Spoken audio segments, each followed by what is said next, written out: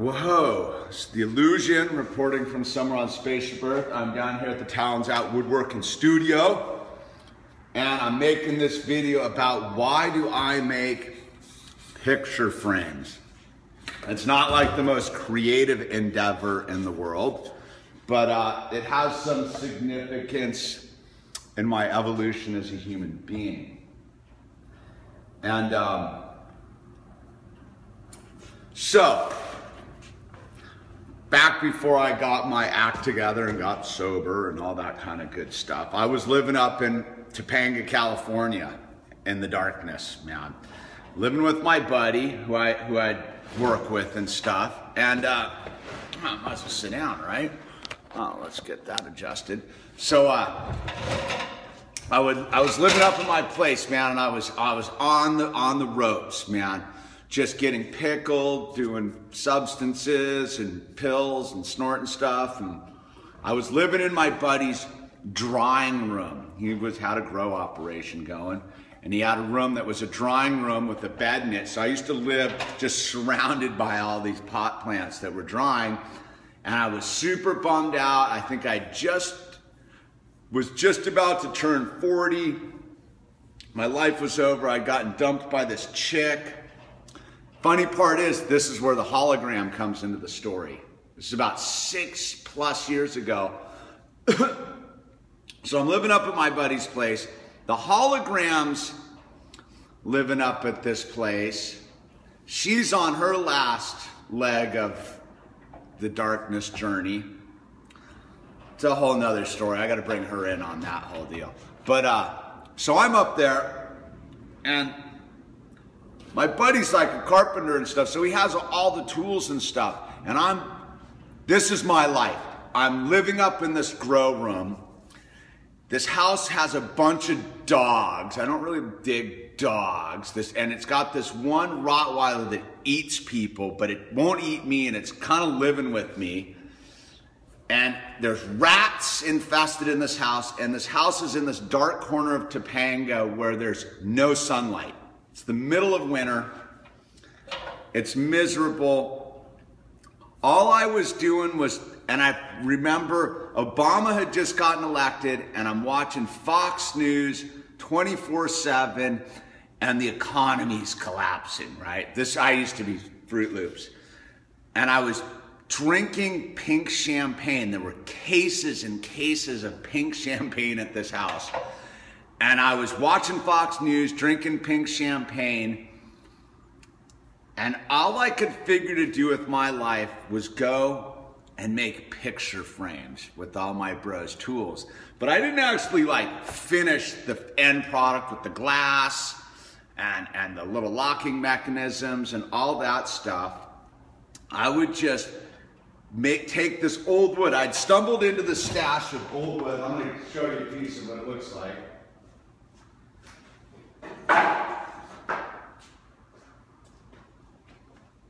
I'd stumbled into the stash of old wood. I don't know if you can tell what it's like. It's like it's been weathered. It's been sitting out in the in the conditions. I think where I'd found this wood had been out there for something like 20 years. This piece has probably been sitting out exposed by sunlight and the stuff for you know a decade. And uh,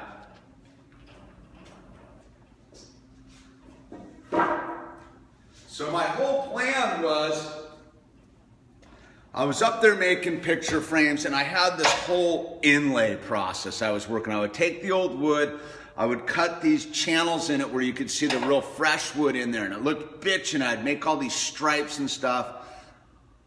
And I'd make all the channels, all the rabbets in the back for the, uh, for the glass and stuff later. And then I would glue them together and, and glue them into squares, basically. Squares and rectangles. So I was making these real elaborate squares and rectangles. And I, and I would just stack them up and I would go and I'd do this for like two or three hours a day. And I did this for months, man. I would just drink the pink champagne, make picture frames, watch Fox News and pass out, smoke the weed. We were in the weed was in everything, man. My bro was cooking with it, dude. It was, I was just pickled. And so I would just be up there making these dumb picture frames that I thought I don't know, it was all I could do to like stay like actually like in motion. And eventually like I I left that place. Like my bro was like, dude, you gotta go, you gotta go sober up, dude. You're out, you're out of hand, dude. And this was a dude when I moved into this house, I was gonna get sober, and he's like, there's no sobriety going on in this house. And after like five months of my insanity, he was like, yeah, dude, you need to go get some, some help. But of course I was like, F you all the way. So I split and I went back up to my pool on top of the world and was living up there for like another month. And that's when I bump into my spiritual advisor in front of the liquor store who basically brought me into the lifeboat. And that's a whole other story. So here we are. That was in, uh, I don't know, Obama just got elected. So 2008, end of 2008, beginning of 2009. Here we are, 2015. I'm making my picture frames. Way more advanced than anything I was doing then. This is all this is all upcycled wood that I scored from a job site, man. This is Alaskan cedar, incense cedar. And then this here is uh, teak. I scored from a job site I'd worked on like three years ago. I remember pulling this these scrap wood out. Alaskan cedar. And then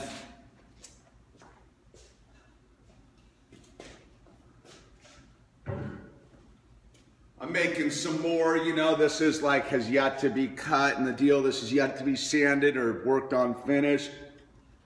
This is uh, redwood and Alaskan cedar, redwood, Alaskan cedar. And uh, so I never actually finished one of these things. And then, you know, I started this whole deal. So I've actually, I finished my first one like I'm gonna, here's a picture of it.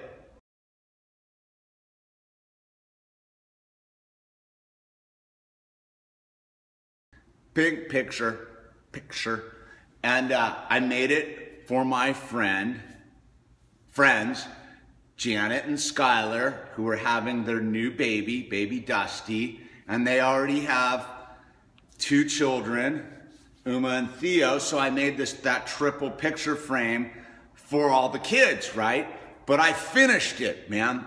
I, I finished it. I, I put whatever I coated it with, I forget, I can't think right now about that. And then I put glass in there and I had to sand it all, the glass edges down so it wouldn't cut anyone.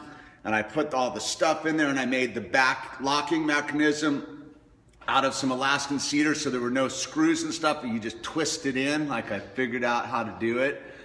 And I finished it, man, and I gave it to them at, for their baby shower present. And it's the it's my talons out number one piece. Like that's if I signed it, I wrote all that stuff on the back.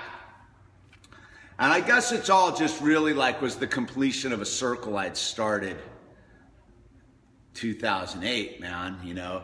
And, and I guess I can look at it as my whole life cycle, like recently. You know, I started just incomplete, man. I was incomplete, yet I had some, some stuff working for me in there. I wasn't completely like in a coma, but I was definitely not functioning on all cylinders. And here we are, man, years and years later. And the hottest is, you know, like, like this wood here